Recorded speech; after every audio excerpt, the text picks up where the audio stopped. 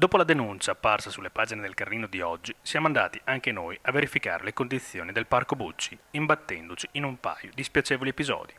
Durante il nostro sopralluogo nell'area verde per girare le immagini che vi stiamo mostrando, infatti, siamo dovuti intervenire personalmente per bloccare alcuni ragazzi rom sorpresi oltre gli steccati di legno con in mano sei porcellini d'India, Ragazzi che alle nostre grida hanno lasciato cadere gli animali e sono scappati lungo i viali del parco, salvo poi essere bloccati da alcuni volontari che, ignari di quanto appena successo, hanno fermato i ragazzi perché colpevoli di aver utilizzato la capannina davanti ai giochi per i bambini come bagno pubblico.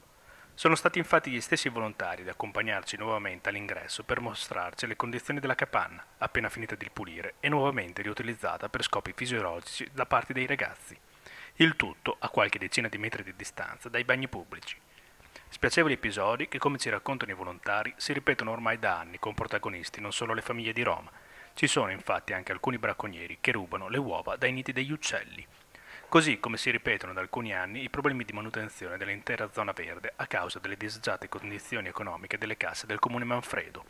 Il guaio maggiore, ci raccontano sempre i volontari, è l'acqua stagnante, soprattutto negli isolotti al centro del lago.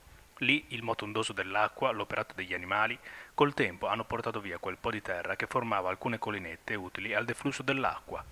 Ora che la collinetta è scomparsa, l'acqua oltrepassa i sassi che delimitano gli isolotti e non riesce più a uscire, rimanendo imprigionata dentro il cerchio di pietra e andando a ristagnare, diventando quindi una delle cause di malattia e di morte dei vari animali.